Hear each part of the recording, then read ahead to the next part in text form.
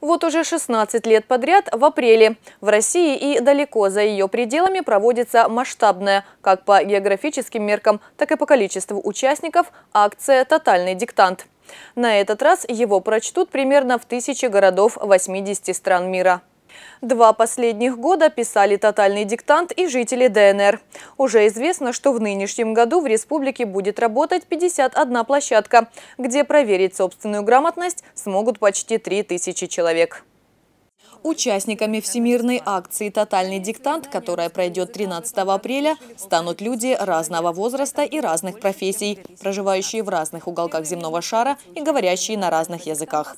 Популярность «Тотального диктанта», отмечают организаторы, растет с каждым годом. В 2018-м «Тотальный диктант» в Харциске писали в первой и 24 школах. В итоге из 121 участника только пятеро не допустили в тексте ни одной ошибки и получили оценку отлично. В этом году также будут организованы две площадки для проведения образовательной акции. Все в той же первой харцизской школе и девятой средней школе Зугреса. За парты смогут сесть в общей сложности 100 человек.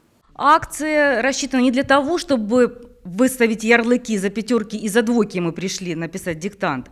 Э, здесь вопрос э, о поднятии престижа русского языка, что Донбасс все-таки регион грамотный, хотя у нас присутствует наш собственный региолект, да, и показать, что мы заинтересованы, мы хотим. Русский язык сложный, но это увлекательно, познавательно и интересно.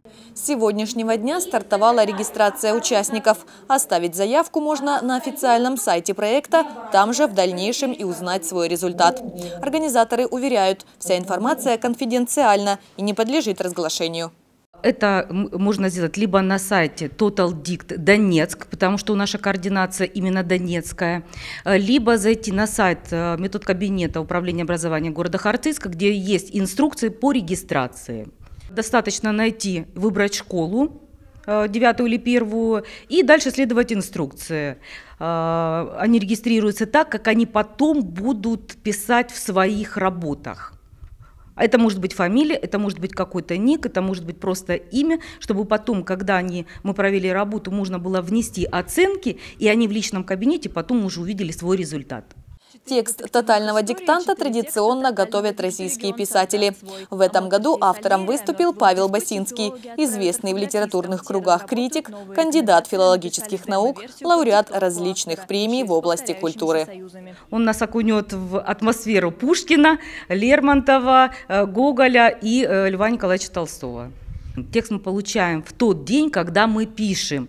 Причем текст состоит из четырех частей, э, в зависимости от э, часовых поясов, потому что у нас же принимает весь мир в этой образовательной акции. Потому какая трилогия, э, вернее, уже даже четвертая часть будет наша, мы еще не знаем. Тотальный диктант для жителей Большого Харциска готовятся провести актрисы Донецкого государственного академического музыкально-драматического театра.